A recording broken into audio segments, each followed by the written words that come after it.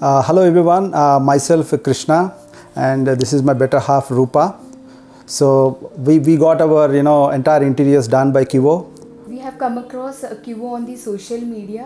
Uh, I came to know that it's related to the Furniture World group uh, that increased our confidence.